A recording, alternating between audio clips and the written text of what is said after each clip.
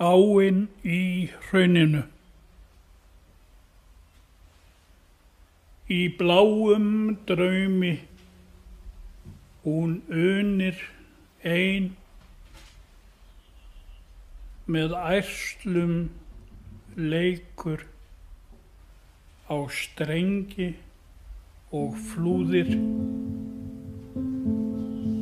og glettin skvettir á gráan stein.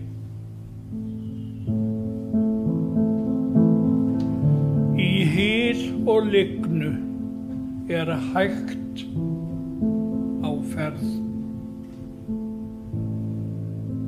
Með hæverskum þokka áinn niðar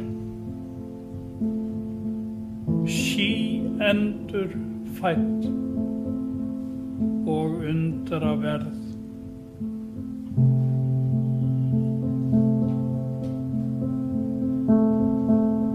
Hún fremur þá list sem fegurst er úr fornum eldi er hljómbott gerður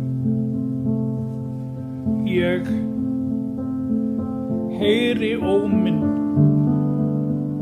í hjarta mér.